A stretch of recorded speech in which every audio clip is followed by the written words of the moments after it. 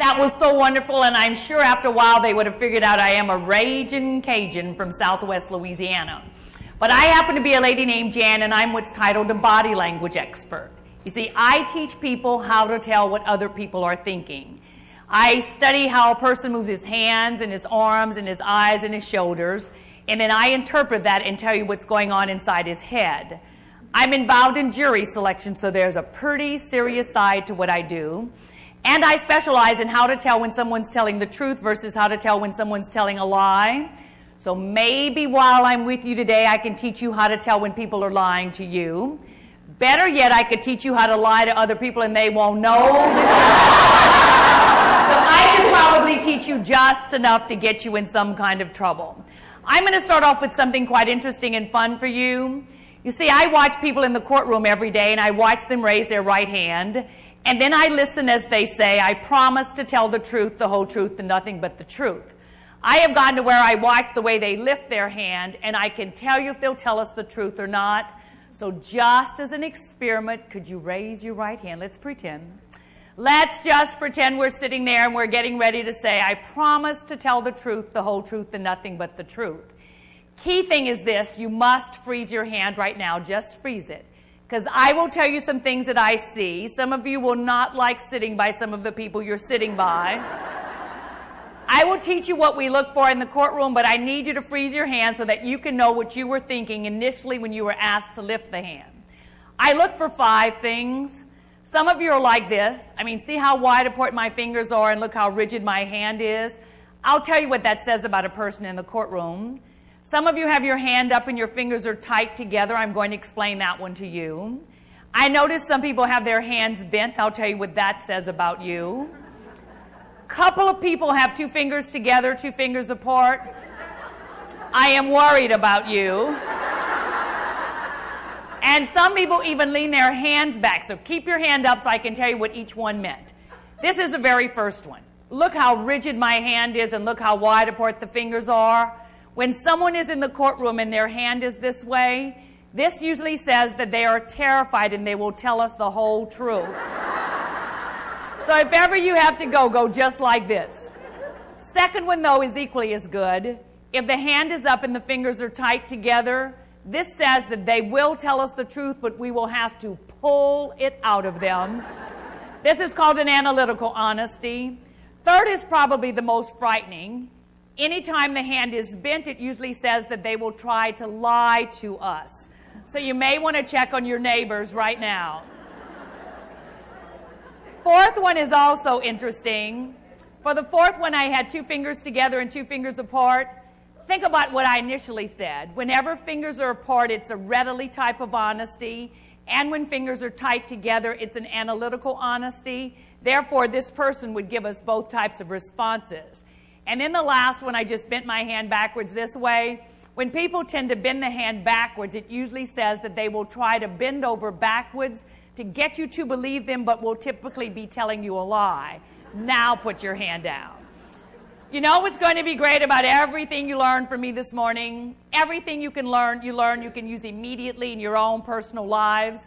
So this evening, when you return home and you see your spouse, you may want to say, Now, what have you been doing since I've been gone all day? And as your spouse begins to tell you, say, Can you finish telling me that story? And just put your right hand up. and look to see if it's this way or this way. That's what my job is, is that every time a person moves a hand or an arm or an eye or a shoulder, all of this motion is indicative of what that person is thinking and in reality, a body does not know how to tell a lie. It is a mouth that tells a lie. You find out while we're together that you move your hands a certain way when you're saying something that you know is not honest, and that you move your hands another way when you're saying something that you know is absolutely, absolutely true. I'll start off at first and I'll give you the percentages so that it sits well with you. This is what the research has indicated to us. 55% of a person's communication is nonverbal. 55%. The moment we see someone, we form an opinion of them and we say, Do I like that person? Do I trust that person? Do I even want to do some kind of business with them? 55% of our communication is nonverbal communication. 38% of a person's communication simply comes from their voice inflection. Just when our voices go up or down, that keeps people interested in what we're saying. And then the research says that only 7% of a person's actual communication comes from the words that they say. And I know you've heard the old saying, actions speak louder than words. We say an awful lot of things with the way that we move our hands, our heads, or our shoulders. My job and objective today is to teach you as much as I can about this whole thing called nonverbal communication. I'm going to start off because I've been watching you since this morning, watched you come through, watched you sit in here with the previous speakers. I just want to show you some gestures I have noticed some of you have done. And as I teach you and tell you this gesture, I just want you to tell me if you think it is true or if you think it is false. I will give you a test of five gestures. Here comes number one.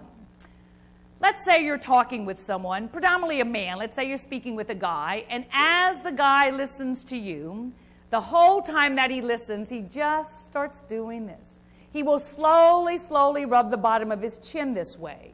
For question number one, I want to ask it in this way and say, when someone does this, this is a sign that says that they are seriously contemplating what is being said. Would you think that that would be true? Do you think that that would be false? What do you think? Will not give you the answers just yet. You have five questions on this exam. Here comes number two. And I know you've seen this gesture. Number two goes this way men who constantly jingle the change in their pockets.